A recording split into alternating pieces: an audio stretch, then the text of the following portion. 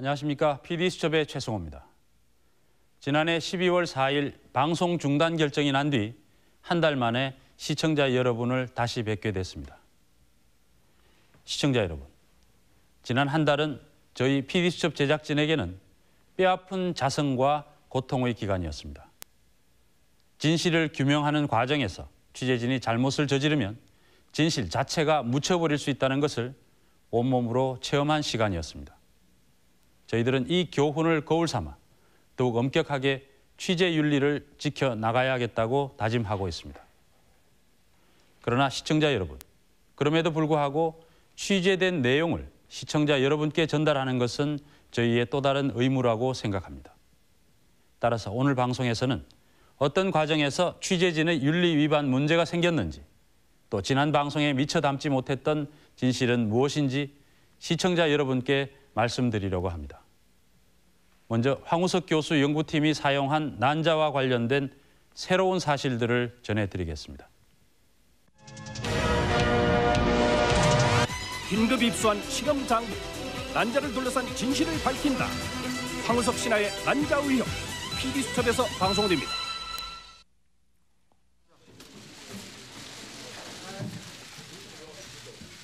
PD수첩의 난자 의혹 방송이 나간 직후 황우석 교수는 기자회견을 통해 문제가 됐던 연구원 난자 제공에 대해 해명했다. 본인도 모르는 사이에 제공된 연구원 난자 때문에 윤리 문제가 제기되는 상황이 우려되어 네이처의 사실과 달리 답변을 했습니다. 연구원이 난자를 제공하기까지의 과정을 전혀 몰랐다는 황 교수. 그러나 최근 국가 생명윤리심의위원회 한 위원은 황 교수가 연구실의 모든 여성 연구원들에게 난자 기증 동의서를 돌렸고 서명까지 받았다는 의혹을 제기했다. 하지만 기자회견 당시 황 교수는 자발적으로 난자를 기증하겠다는 연구원을 말리기까지 했다고 말했다. 연구에 직접 참여 중이었던 한 여성 연구원이 제게 찾아와 난자를 제공하겠다는 뜻을 밝혔습니다. 그러나 그 여성 연구원이 아직 결혼도 하지 않은 나이 어린 대학원생이었기 때문에 아무리 난자가 부족한 상황이었음을 감안하더라도 교수 입장에서 그 의사를 받아들일 수 없었습니다. 예, 그, 걱정하시는 부분이 그러나 난자 제공 연구원의 동료 연구원들은 황 교수의 주장과는 전혀 다르게 말했다. 황 교수님이 바라는 거를 해주는 게 자기 입장에서는 기여인데 황 교수님이 난자를 이제 공유를 했으면 좋겠다라고 이제 제의를 했을 때 그거를 처음에는 아 그러죠. 이렇게 하다가 그 실체도 모르고 하다가 우리한테 그 사실을 털어놓고 우리는 난자를 제공하기로 한 연구원은 동료 연구원들에게 이 사실을 상의해왔고 동료 연구원은 부작용을 우려해 아직 미혼인 그녀가 수술받는 것을 말렸다고 한다. 그러자 난자 채취 수술을 받지 않기로 결심했다고 한다. 자기가 안 받겠다고 이제 딱 결단을 내린 상태에서 한 교수님한테 얘기를 했어요. 자기가 안 하겠다고 얘기를 했대요. 하니까 한 교수님 막 화를 내면서 왜 안 하냐고 그런 식으로 얘기를 해가지고 걔가 마음이 했 결국 이 연구원은 병원의 산부인과 수술실에 누워야 했다. 이 연구원은 미즈메디 병원에서 2003년 3월 10일 난자 채취 수술을 받았다. 제작진은 이런 정황을 입증하는 증거 자료를 어렵게 입수했다. 난자를 제공한 연구원이 수술 직전 동료 연구원에게 보낸 이메일. 여기에 그녀는 황 교수의 강압에 어쩔 수 없이 난자를 제공하게 되었다고 고백했다.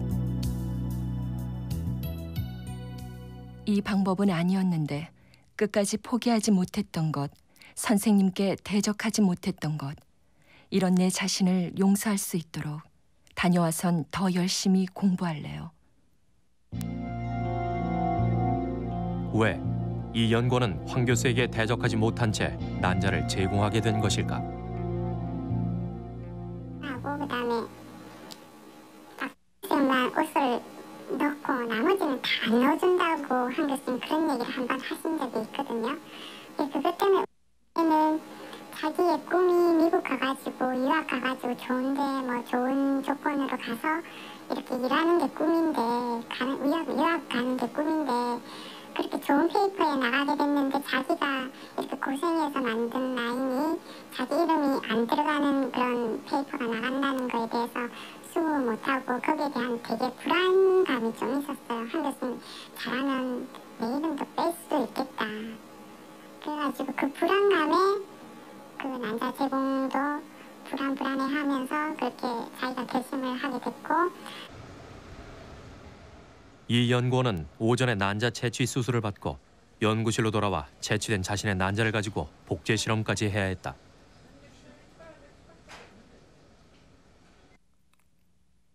처음에 시작은 제가 했지만 무서워요.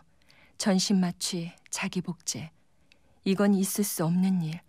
자신의 난자를 자신이 복제하고 지독하게 독해요. 제 자신이. 제공하고 난 그날 자기가 자기 난자를 들고 와서 자기가 그거 그 벤티를 하고 그러고 나서 배를 그니까 하고 나니까 배가 아프잖아요.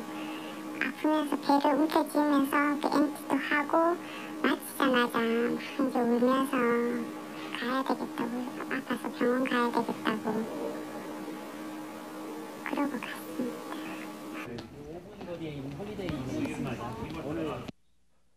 제작진은 당시 난자를 제공한 연구원을 만나 그때 상황을 들어보기로 했다.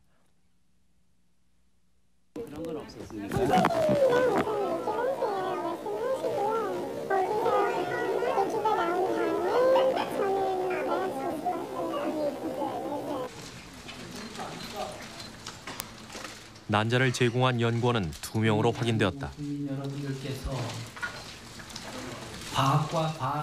이런 사실에도 불구하고 황 교수는 연구원 난자 제공에 반대했다고 계속 강조해왔다. 성원에 연구원이 난자를 제공할 수도 있다고 생각할 수 있는 분들이 있습니다. 교수님께서는 어, 그 의견에 대해서 어떻게 생각하십니까? 저는 동의하지 않습니다. 절대 동의하지 않습니다. 그러나 그 뜻만은 뜻만은 저도 가슴이 아렸습니다. 아, 참 숭고하다. 하지만 이건 오해를 불러일으킬 충분의 소양이 있다. 하지만 저는 지금도 그 앱솔루트리 반대입니다. 지난해 11월 22일 BD수첩은 황우석 교수 연구팀의 난자 문제에 대해서 방송했습니다. 당시 저희 제작진은 황우석 교수가 이미 예정하고 있었던 기자회견에서 모든 진실을 스스로 밝혀주기를 기대했고 따라서 연구원 난자와 관련된 부분에서는 최소한의 문제만을 방송했습니다. 그러나 황우석 교수는 기자회견에서 연구원들이 난자를 제공한 사실을 사전에 알지 못했다는 이해할 수 없는 말만을 되풀이했습니다. 뿐만 아니라 매매된 난자를 사용한 사실도 사전에 몰랐다고 주장했습니다. 그러나 최근 황 교수의 기자회견 내용이 송두리째 거짓이라는 여러 증거들이 나오고 있습니다.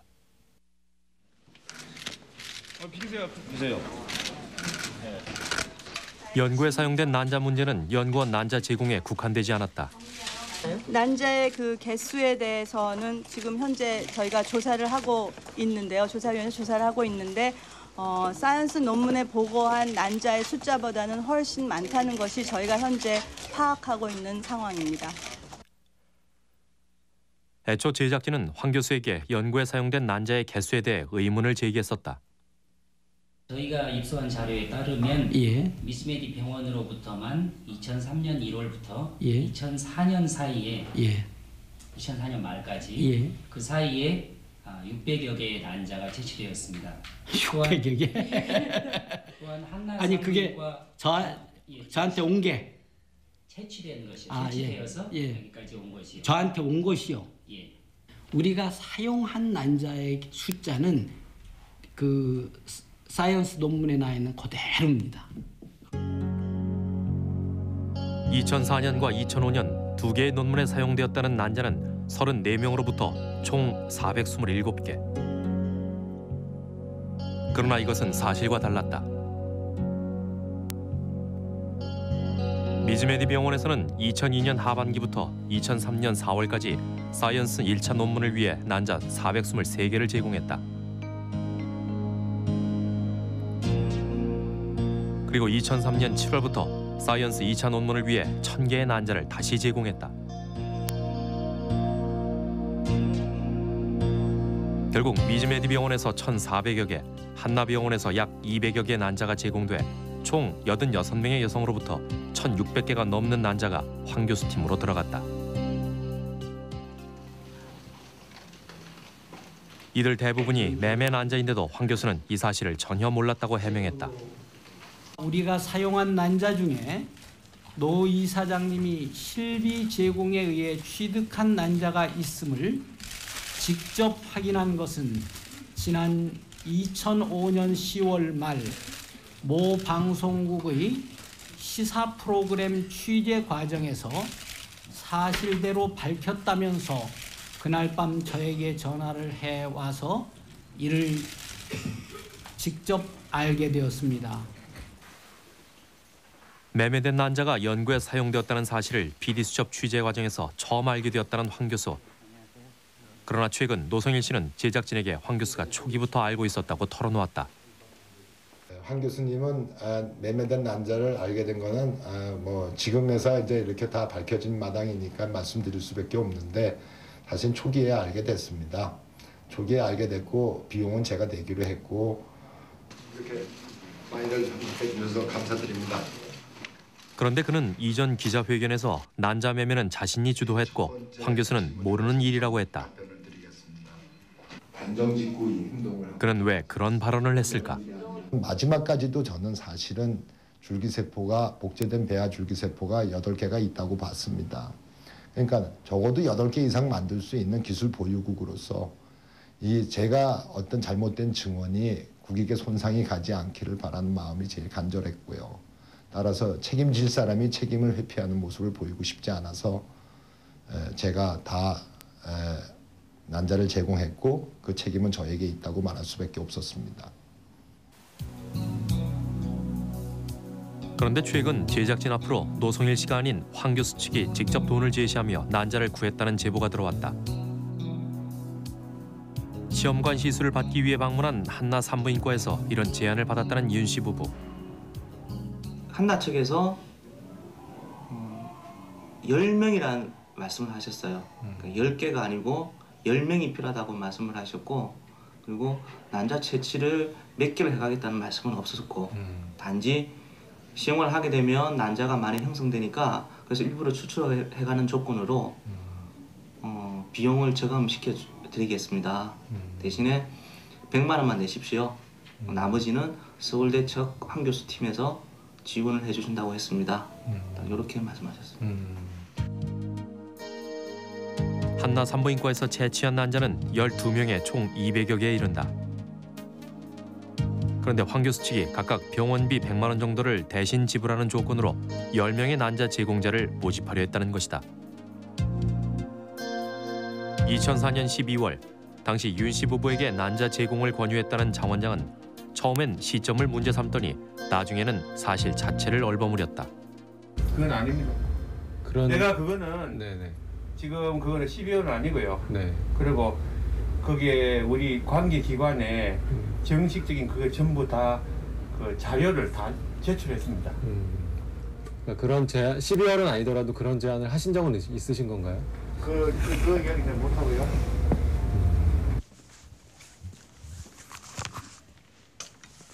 황 교수 연구팀에 제공된 난자 중에는 매매된 난자가 아닌 자발적 기증으로 제공된 난자도 있었다.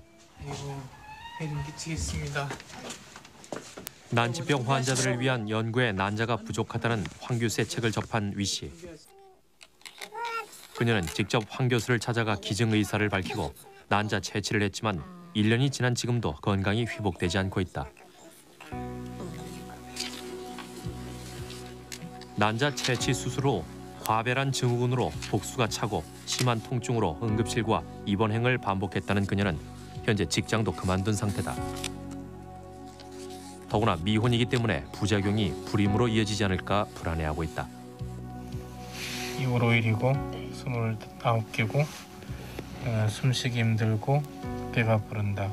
식후에 더 답답하다. 제가 저도 걱정이 되니까 물어봤었던 것 같아요. 혹시 부작용이 나올 수도 있지 않겠느냐 뭐 그렇게 여쭤봤었던 것 같은데 음 그동안 연구팀에서 기증을 받았던 결과로는 뭐 그렇게 기사에 나타날 만큼 심각한 사람은 없었다라고 그렇게 자신 있게 얘기하는 것도 들었었고 그래서 설마 설마 그런 게 있었죠. 2005년 이후 순수 기증자의 경우 20% 가까운 여성들이 크고 작은 후유증으로 병원을 내원했다. 그러나 당시 위 씨는 안규리 교수와의 면담에서 부작용에 대한 구체적인 설명을 듣지 못했다고 한다. 황 교수의 논문 자체가 허위로 판명난 지금 그녀는 연구 성과를 속이고 과장해 난자를 기증하게 만든 황 교수가 원망스럽기만 하다고 털어놓았다.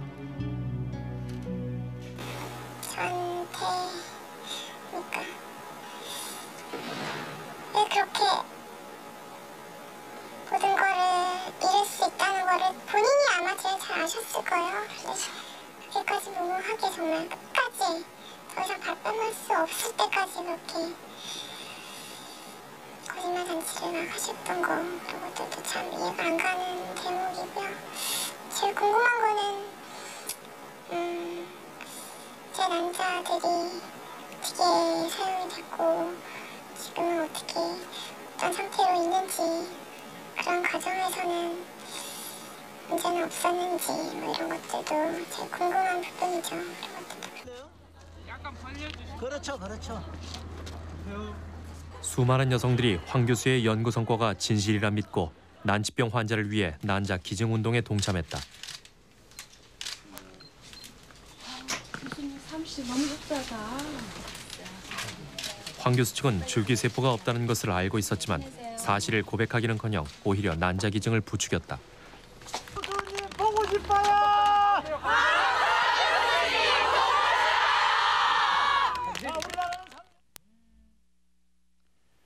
수많은 여성들이 난치병 환자를 위해 난자 기증 운동에 참여했을 당시 황우석 교수는 환자 맞춤형 줄기세포가 없다는 사실을 알고 있었습니다.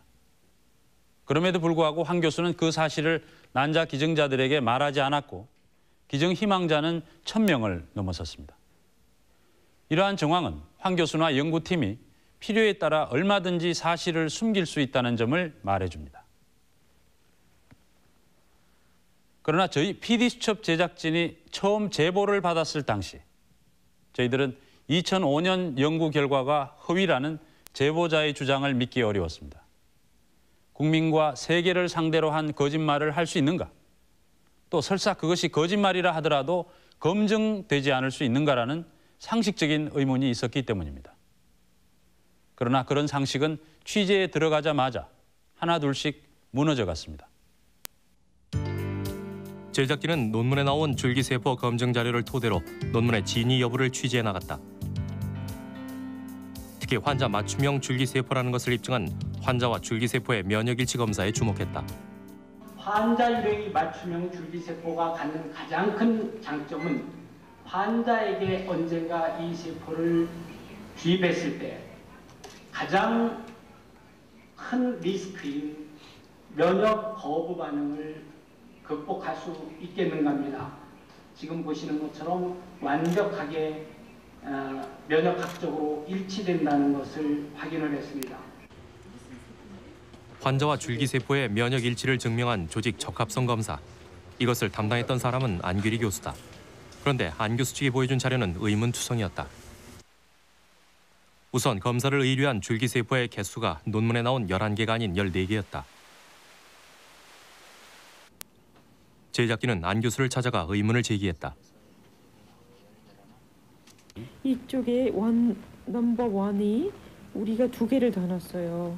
그 저기 테스트 할 때요. 아, 그러니까 넘버 원 그 작년 그 예. 맨 처음에 개발된 거를 두두 개를, 개를 넣고. 더 넣었어요. 그 예. 처음 거 그러니까 이게 아마 그 서브 칼출을 하면서 진짜 똑같은 건가를 봤을 겁니다.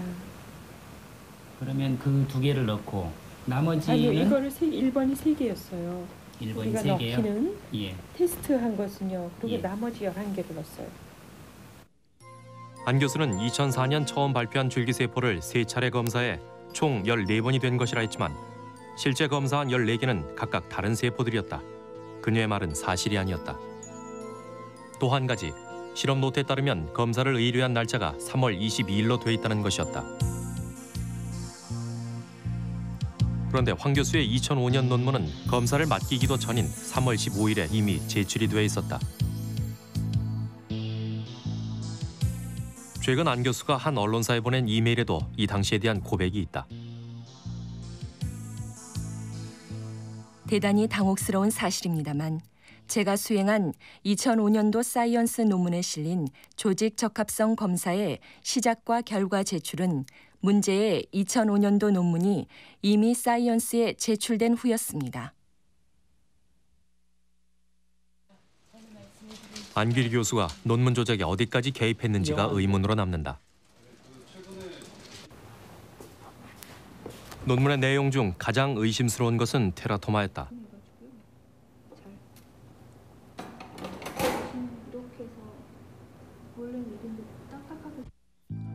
면역성이 없는 쥐에 줄기세포를 주입하면 줄기세포가 분화를 거듭해 양성 종양이 발생한다. 이렇게 줄기세포의 생체 내 분화 능력을 입증하는 실험을 테라토마라고 하는데 제작진은 이 실험을 담당한 연구자를 찾을 수가 없었다. 먼저 논문에 테라토마 담당자로 이름 적힌 의대 교수를 찾아갔지만 자신은 아니라고 했다. 황석 교수 논문에 보면 이거는 올해 일을 건가요? 어떻게 보면 테라토마 관심을? 작년이죠. 작년. 그러면 올해 그 5월 그 11명의 세세포 환자는 이거는 누가 테라토마 검증을 했을까요? 세번은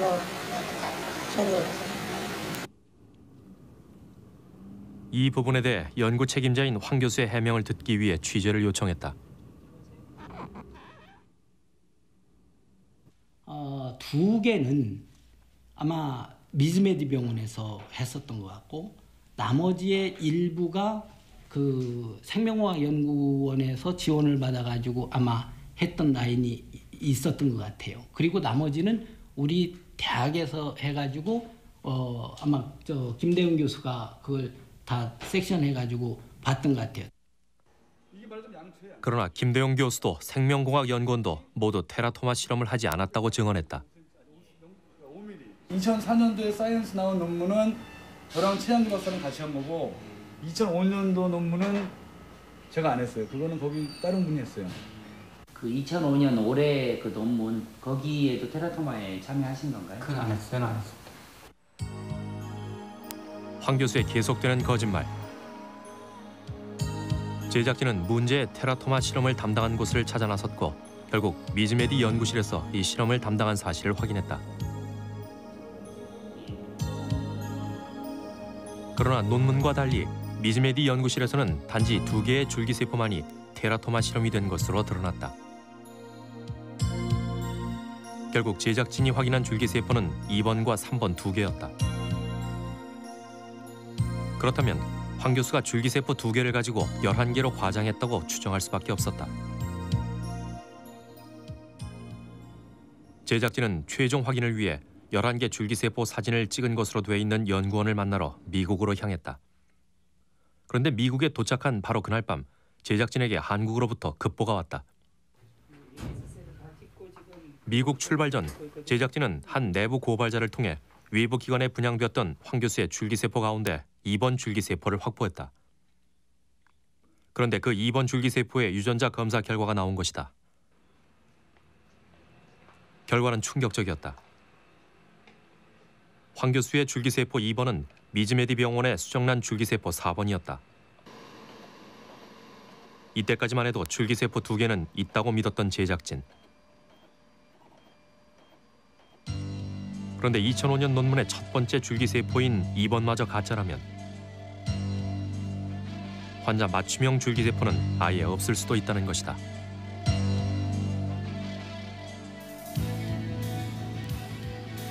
이런 사실은 제작진에게 황 교수의 논문이 거짓이라는 확신을 더 심어주었던 것이 사실이다. 그리고 다음 날 제작진은 김모 연구원을 만났다. 그 2번 라인이 그 미즈메디 4번 라인이라는 것을 저희가 알고 있고 그 외에 나머지 것도 저희가 다 알고 있습니다. 어, 그거 잘 모르겠어요. 황 교수님하고 직접 얘기하실 때는 저는 뭐라고 어떻게 말씀 못 드리고 황 교수님 같은 경우에는 이제 다음 주에 저희가 따로 인터뷰를 할 거고 어, 검찰 수사가 시작될 겁니다. 김 연구원은 장소를 이동하자고 했고 이후 논문 조작에 관해 털어놓았다. 게 그러면 총 4개입니까? 2개입니까? 세대가 있는 그 세대가 이런 선생님 지금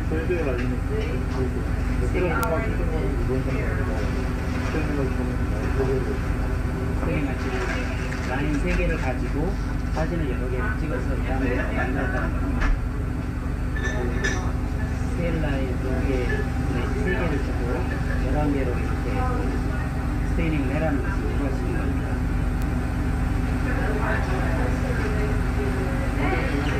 황 교수님께서 직접 말씀하셨습니다. 그러면 시키는 대로 한 거는 있었습니까?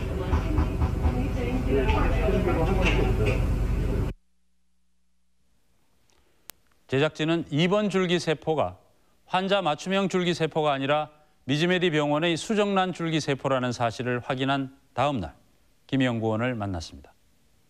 따라서 당시 황 교수 논문이 조작되었다는 것을 확신한 나머지 조작에 관여했을 김 연구원으로부터 증언을 끌어내기 위해 해서는 안 될 말을 했습니다.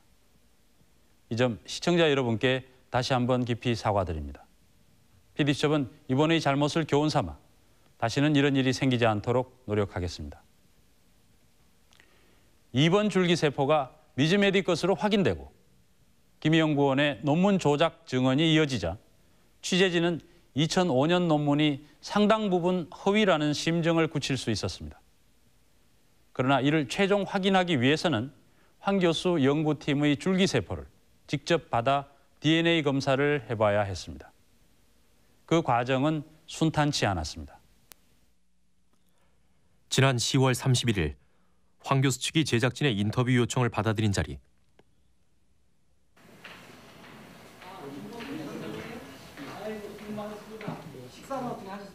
그곳엔 황 교수의 요청으로 10여 명의 공동 저자들도 와 있었다.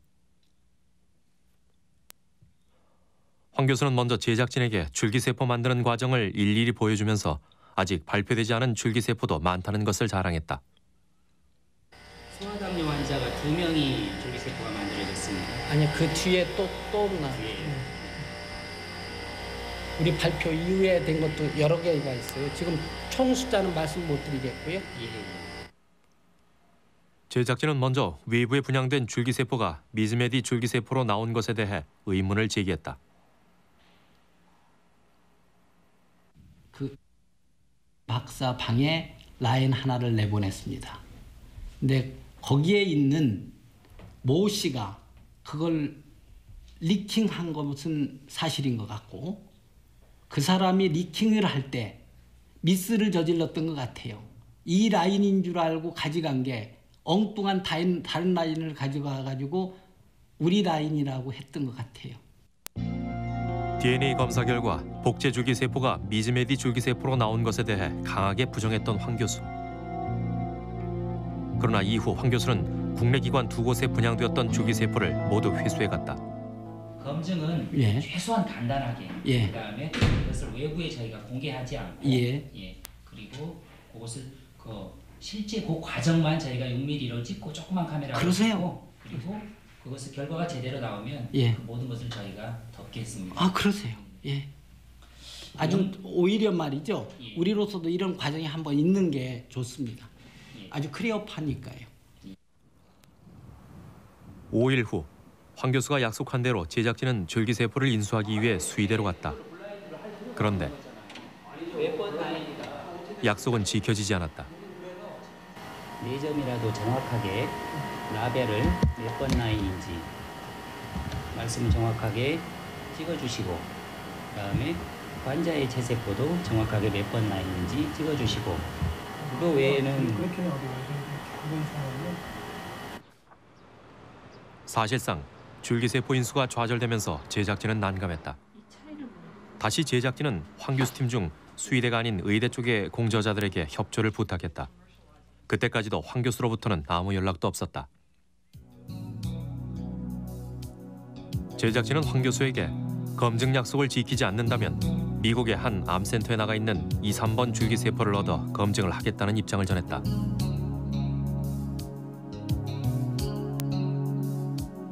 그제야 비로소 황 교수 팀으로부터 검증에 응하겠다는 연락이 왔다.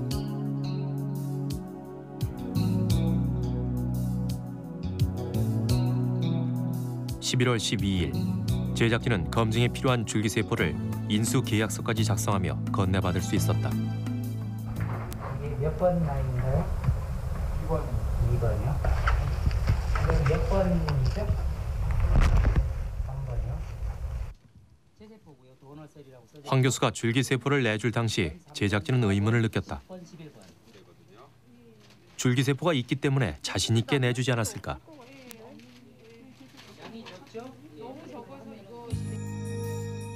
그런데 검증 결과가 나왔을 때 황 교수가 자신 있게 줄기세포를 내준 이유를 짐작할 수 있었다. 대부분의 세포에서 결과 자체가 나오지 않았던 것. 제작진에게 준 시료 자체에 문제가 있었다는 것을 의심케 하는 대목이다.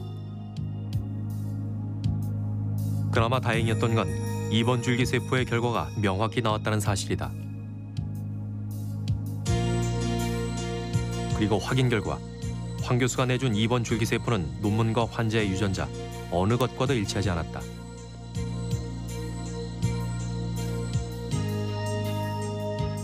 그렇다고 이것이 미즈메디에 수정난 줄기세포도 아니었다. 황 교수는 줄기세포를 미즈메디 것으로 의심하고 있는 제작진에게 정체불명의 수정난 줄기세포를 준 것이다.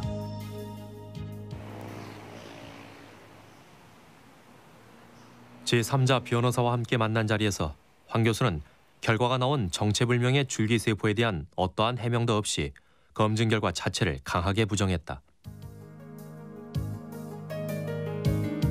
황 교수는 분석의 정확성에 의구심을 표시하며 DNA 지문 분석을 하는 전문가라면 황 교수 팀이 준 체세포에서 DNA를 못 뽑을 수가 없고 DNA가 안 나온다는 걸 이해할 수가 없다고 말했다.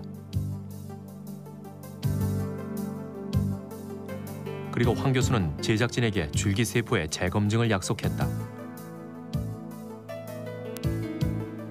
황 교수는 PD 수첩의 재검증 제의에 흔쾌히 응하며 제3자 변호사 앞에서 한 약속이니 지킬 것임을 강조했다.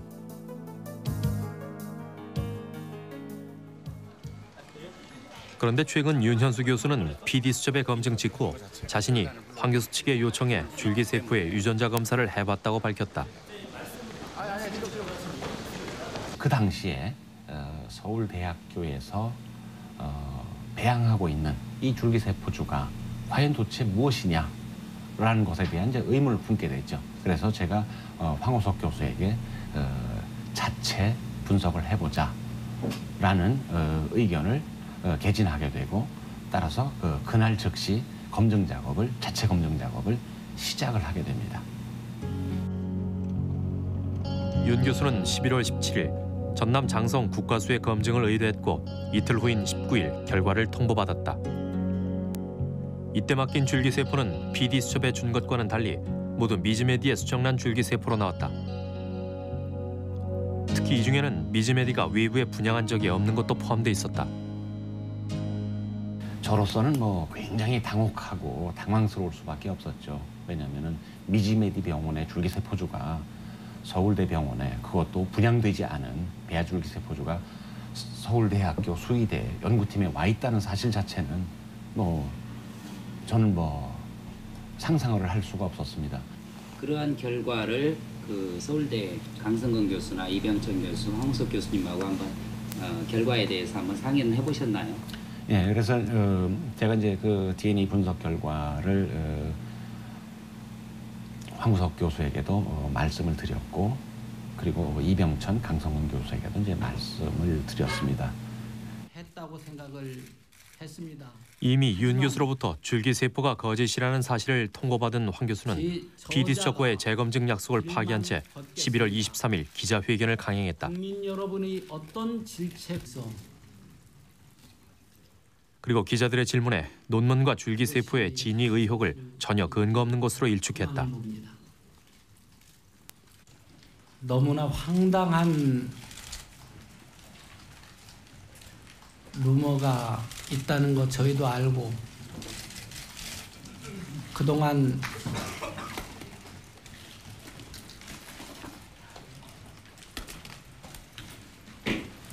괴롭고 외롭고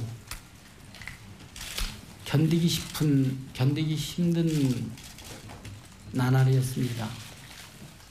현재까지 저희가 확인하고 다시 재검토한 바로는 전혀 이상이 없는 것으로 밝혀졌습니다. 여기서 시청자 여러분은 한 가지 의문을 느끼실 것입니다. 만약 황 교수의 줄기세포가 가짜라면 왜 PD수첩에 줄기세포를 건네주었을까요? 황 교수 측은 이 점을 들어서 자신들도 모른 채 줄기세포가 바꿔치기 됐다고 주장하고 있습니다. 바꿔치기 된 것을 안 것은 PD수첩의 DNA 검사 결과를 듣고 난 뒤라고도 했습니다. 그러나 이 주장이 사실이라면 황 교수는 PD수첩에 미즈메디 줄기세포를 주었어야 하지만 DNA 검사 결과 전혀 다른 것으로 나왔습니다. 논문과도 다르고 미즈메디 것도 아닌 줄기세포를 PD수첩에 준 것입니다. 또 황 교수 측에서 준 거의 모든 샘플에서 DNA가 아예 나오지 않았습니다. 제작진이 문의한 전문가들은 사전에 모종의 조작이 가해졌을 가능성이 있다고 말했습니다. 그나마 한 개의 결과가 나온 것이 다행이라는 것입니다. 이 모든 상황을 종합해 볼 때 PD수첩의 검사 이후 줄기세포가 바뀐 것을 알았다는 것은 사실이 아닐 가능성이 큽니다. 한편 황 교수 측은 줄기세포가 허위라는 사실을 알고 있었던 상황에서 PD수첩의 방송을 막으려는 시도를 계속했습니다.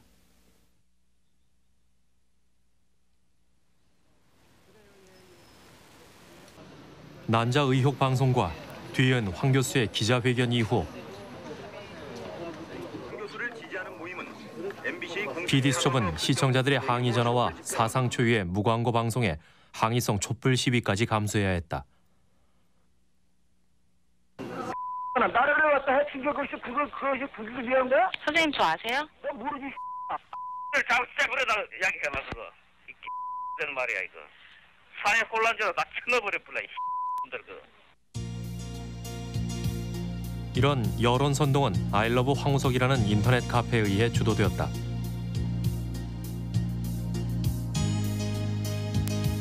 카페 운영자인 윤태일 씨는 스스로 황 교수의 대리인을 자청하는 인물로 MBC의 항의 전화와 광고주 불매운동, 촛불 시위 등을 이끌었다. 그리고 황우석 교수 논문의 진실성을 믿었던 수많은 네티즌들이 이 대열에 동참했다. 황 교수는 카페와 운영자인 윤 씨에게 감사의 뜻을 메일로 전하기도 했다.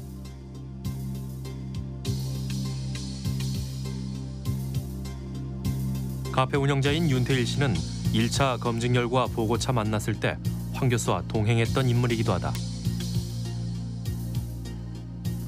그는 이미 그때 제작진에게 여론의 후폭풍을 경고한 바 있다.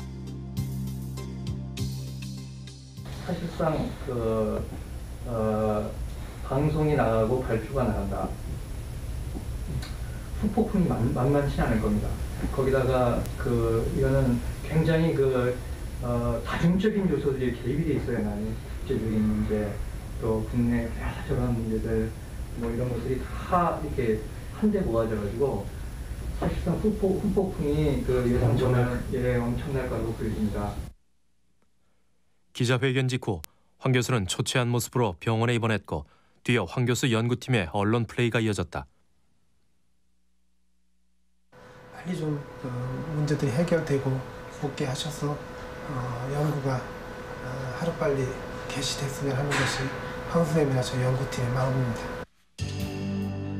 황 교수 팀과 언론은 마치 PD 수첩 때문에 줄기세포 연구가 불가능한 것처럼 분위기를 몰고 갔고 2005년 논문의 진위 문제에 관한 논란 자체를 저지하고자 했다.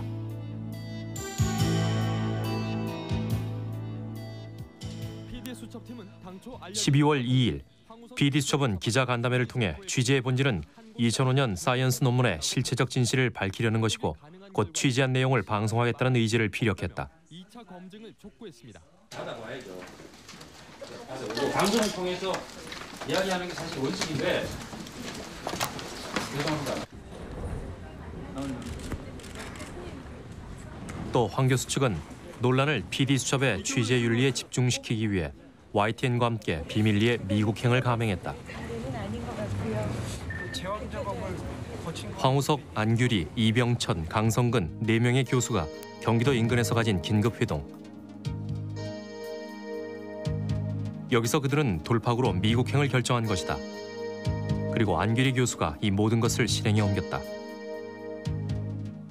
어, 피츠버그 대학을 방문하는 일정에 대한 것이나 혹은 귀국하는 일정에 대한 것을 어, 주도적으로 결정하고 했었던 것은 안규류 교수님이 맡아서 해주셨고요. 물론 어, 그 과정에는 어, 언론과의 그 접촉을 우려해서 어, 비행 어, 귀국 일정이 일부 이제 변경이 됐습니다. 그래서 그러한 과정들은 안규리 교수님께서 어, 정리를 해서 결정을 해주셨고 저희는 이제 그러한 일정에 따라서 귀국하게 됐습니다.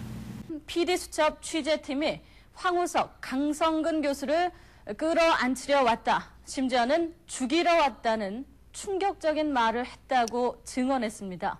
직접 들어보시겠습니다. 어, 실은 김 연구원의 사진 조작 증언은 은폐된 채 취재 윤리 부분만을 부각한 언론 플레이 때문에 PD 수첩의 논문 조작 방송은 제 시간에 나갈 수 없었다. 일단 황 교수 팀이 기획한 고도의 언론 플레이는 적중한 셈이었다. 또한 황 교수는 국정원 직원을 통해 YTN의 인터뷰에 협조한 두 연구원에게 4만 달러라는 거액을 전달한 것으로 드러났다. 황우석 교수 연구실에 파견 남아 있었던 한 어, 직원으로 어, 생각이 되고요. 그 직원분이 어, 제 연구실에 직접 어, 미화를 가지고 와서 저에게 전달해 주었고 어, 황우석 교수님께서는 전화상으로 저에게 그러한 요청을 하셨습니다. 김 연구원이 PD 수첩에 조작에 관한 증언을 한 직후부터 황 교수는 취재 윤리 문제를 가지고 제작진을 향해 상당한 압력을 행사해 왔다. 김 씨는 당초 PD 수첩의 사진 조작 사실을 털어놨다가 곧바로 이를 번복하는 해명서를 보내기로, 보내기도 했습니다. 그런데 이 해명서는 황 교수의 지시로 작성됐다고 김 씨가 밝혔습니다. 황 교수는 또 청와대 박기영 보좌관을 통해 논문의 조작 사실을 은폐한 채 PD 수첩의 취재 윤리 문제만을 대통령에게 보고하였다. 이에 대통령은 청와대 브리핑에 올린 글을 통해 PD 수첩이 논문의 진위 여부를 취재한다는 사실과 그 취재 방식에 대해 강한 우려를 표시했다. 윤태일 씨도 제작진과 만난 자리에서 이 부분을 유독 강조하며 방송을 숙고하라고 종용했다. 이쪽에서도 취재 과정에 있어도 다 조사했고 자료 다 가지고 있고 녹취 다 가지고 있고 그리고 예상외로 이 파문은 컸습니다. 과장을 좀 심하게 하면 지구가 네? 지구본이 왔다 갔다 하고 있는 상황입니다. 신중히 결정해 주셨으면 하는 생각이 듭니다. 또한 윤태일 씨는 제보자와 PD 수첩 관계자가 주고받은 사적인 이메일까지 확보했음을 밝혀 그 입수 경로에 대한 의혹을 불러일으키기도 했다. 어, 그분과 어, 그 PD 수첩 측과 상당 3개월 이상에 걸쳐서 어, 논의하고 또 그, 어, 어, 정보를 교류하고 했던 자료를 저희들이 가지고 있습니다. 윤태일 씨의 경고대로 PD 수첩은 중단되었습니다. 황 교수 측은 방송을 유보한다는 문화방송의 발표에 대해 사과가 충분하지 않다며 아예 방송하지 않겠다는 약속을 하라고 했습니다. 그러나 거의 진실이 묻혀가던 상황에서 젊은 과학도들이 사진 조작의 증거를 찾아내면서 불씨가 되살아났고 진실을 보도하려는 용기 있는 기자들에 의해 전해졌습니다.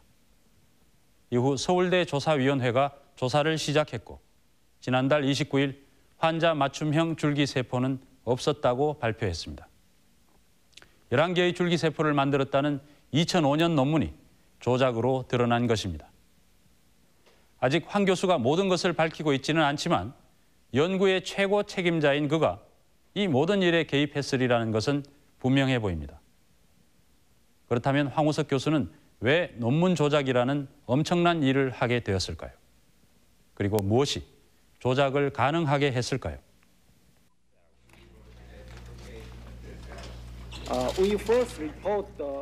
황 교수는 2004년 세계 최초의 인간 체세포 복제 줄기세포를 사이언스지에 발표하면서 이력 세계적인 과학자 반열에 올라섰다. 예, 국제 과학회에서 어, 이 소위 그이뭐 전율할 만한 그런 결과라고 했던 것입니다. 우리는 그 미국의 심장부에서 어 2010년쯤 예견되었던 아, 생명공학 기술의 고지 위에 태극 태극기를 꽂고 돌아가는 길이다라는 글을 썼습니다.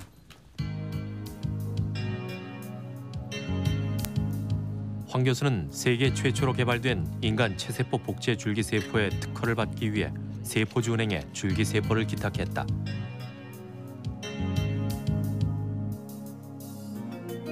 그러나 이 세포는 특허를 받기에 치명적인 약점이 있었다. 논문에도 밝혔듯이 체세포 복제가 아닌 처녀생식 돌연 변이일 가능성을 배제할 수 없다는 것. 지금 2004년 2월에 했던 것은 XX로 된 여성 세포로 된 야주기 세포지 XY는 없었다고요. 근데 XX는 자가 분열을 할 수 있는 가능성이 있기 때문에 XY는 자가 분열이 안 됩니다. 그래서 XY를 했다고 하면은 자가 분열이니 무엇이니 다 논쟁이 없어져 버리죠. 2004년 사이언스 논문은 처녀생식 돌연변이 가능성으로 인해 특허를 얻는 데 결함이 있었다. 이러한 한계를 탈피하기 위해 남자의 체세포를 이용한 복제 줄기 세포가 필요했다. 작년에 242개의 난자에서 하나의 줄기 세포를 확보하는 데 그쳤던 반면 현재는 185개의 난자에서 11개의 줄기세포를 확보했습니다. 다시 말씀드려서 이 효율이 작년에 비해서 15배가 향상이 됐던 겁니다. 이것은 아주 어, 상당히 깊은 의미를 지니고 있습니다. 또 한 가지, 황 교수 자신도 실용성의 한계를 인정했듯이 2004년의 논문은 242개의 난자로 단 하나의 줄기세포를 만드는 데 그쳤다. 그다음에 그거 하나만으로는 남녀노소 다 필요한 의료 시장에 그 뭐 한 번 어 뭐 한 200개 정도 트라이해서 하나 정도 한다는 그 이피션시는 너무 낮고 그래서 사람들에게 뭔가를 보여줘야 된다는 압박감이 굉장히 심했죠. 이 두 가지 문제를 단번에 해결한 것이 황 교수의 2005년 논문이었다. 이 논문을 통해 황 교수는 복제 줄기세포의 장밋빛 전망을 만들어내는 것이다. 저의 연구는 어, 제3자 과학자들이 평하기를 미래 엄청난 경제적 가치와 아울러서 과학적 무게를 가지고 있다고 평가합니다. 그렇다면 사이언스지와 전 세계의 과학자들을 상대로 논문 조작이 가능할 수 있었던 이유는 무엇일까?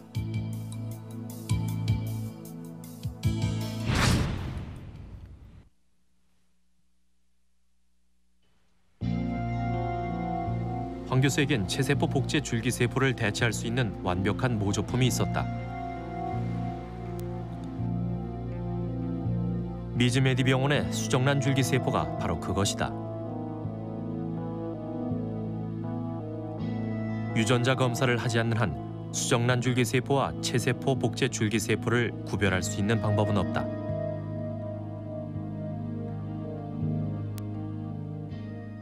NTA랑 IVF 유래 줄기세포랑요. 그게 육안으로 봤을 때 조금 다른가요? 글쎄요, 뭐야, 뭐. 줄기세포는 똑같죠. 또 배아줄기세포가 갖는 기본적인 특성은 예. 복제 배아줄기세포든 인간 배아줄기세포든 간에요. 예. 기본적으로 동일합니다.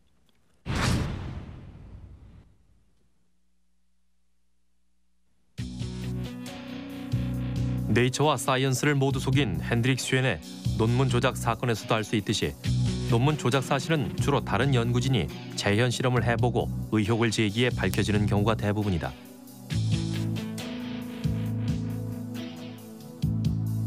그러나 체세포 복제 줄기세포의 경우 세계 어떤 연구팀도 황 교수만큼 많은 난자를 공급받을 수 없다. 어, 우리나라 어, 예, 지금 특수성 중에 하나가 체세포 해기식 연구와 관련해서 우리나라가 갖는 특수성 중에 하나가 많은 난자, 풍부한 난자 공급과 무관하지 않다고 생각을 합니다. 어, 실제로 다른 나라의 예를 봐도 어, 우리나라 연구진만큼 풍부하게 난자를 확보해서 연구에 사용한 예가 없고요. 황 교수 팀과 같이 풍부한 난자를 이용해 재현 실험을 할 수 있는 과학자는 없다. 현실적으로 재현이 불가능한 것은 바로 이 때문이다.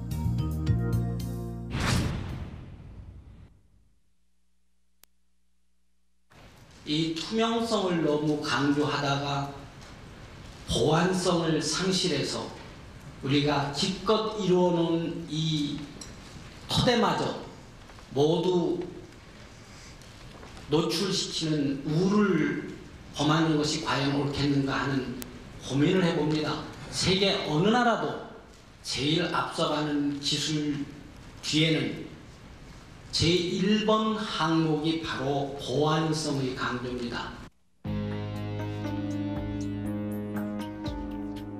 황 교수는 기술 유출을 막는다는 이유로 이중삼중의 보안 장치로 외부인의 연구실 접근을 통제했다. 줄기세포에 대한 접근은 황 교수를 포함한 소수의 연구자만이 가능했다. 과학이란 것은 이 공개돼서 서로 검증돼야 되는 겁니다. 근데 보안이다 국익이다 그래서 막 얘기 나오면서 여기 예를 들어서 이제 뭐 요인을 보호한다는 식으로 나와요. 지금 어느 특정 연구 그 사업단에서 이루어지는 연구에 대해서 보안이라는 명분 하에 이건 뭐 국익이다 명분 하에 공개되지 않고 있다는 사실입니다. 그것은 과학이 아니에요. 제가 보기에는. 야! 지지 말라고! 지지 말라고!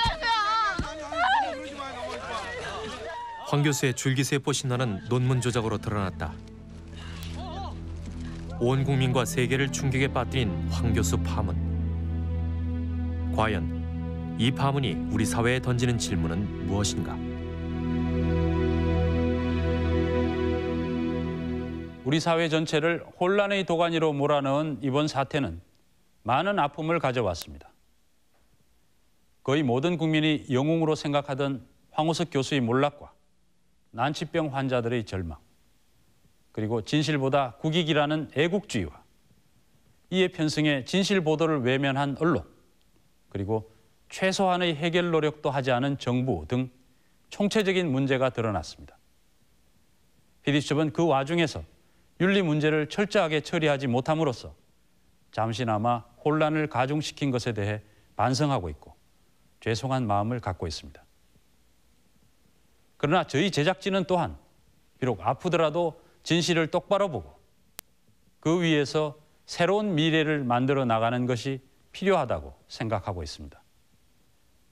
비록 11개의 줄기세포라는 신화를 잃었지만 과학계의 검증 시스템을 발전시키고 젊은 연구자들에게 마음껏 연구할 수 있는 환경을 조성해 준다면 우리가 잃어버린 것보다 더 큰 가치를 얻게 되지 않을까 희망하고 있습니다. 늦은 시간까지 시청해 주신 시청자 여러분 감사합니다. 오늘 PD수첩 여기서 마치겠습니다.